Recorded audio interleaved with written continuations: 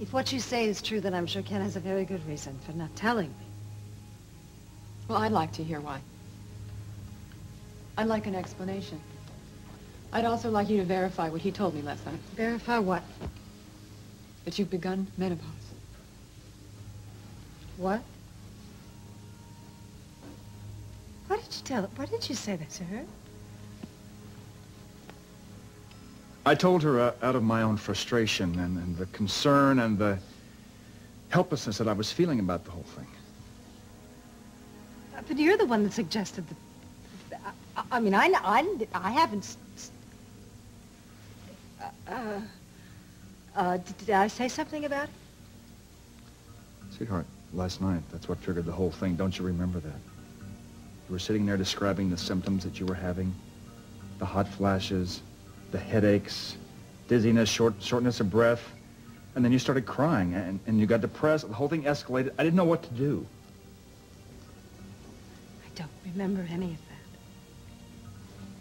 Maybe it didn't happen.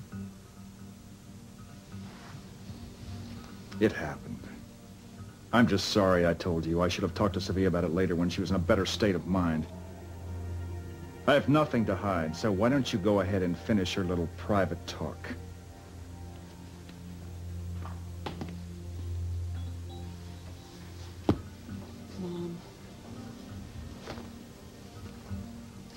Mom, I'm not coming down on you. I am concerned about Ken.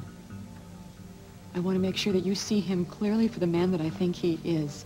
He has not been married just once. He's been married twice. Both of those women have died.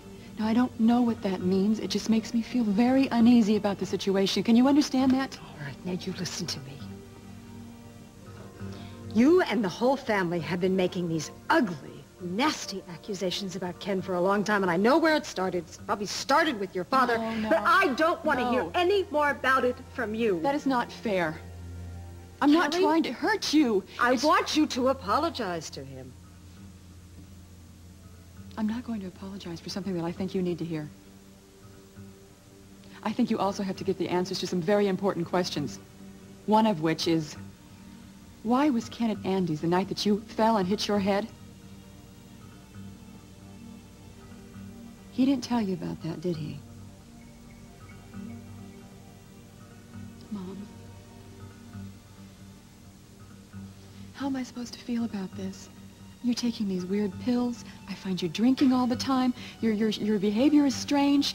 You're not the mom that I know. Kelly, I am not taking pills anymore at all. I'm on no medication. I'm not ta- and I, I I got drunk on champagne last night. So what? So what's the crime? I'm just fighting a losing battle here, aren't I? Because I can tell you what I feel till I'm blue in the face. I can't make you do anything about it. All I can do is express to you what I feel to be the truth. What you do with that is your business. I don't want to argue with you. I don't want to fight with you. I don't want to be angry with you. I don't want you to be angry with me. And I want you to know that I'm just fine. I really am. I love you. Just be careful, okay? Remember, you can call me any time of the day or night.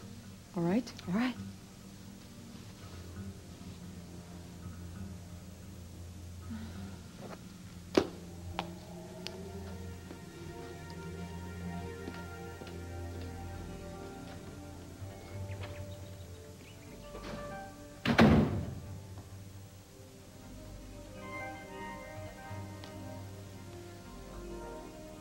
Why didn't you tell me you were married twice?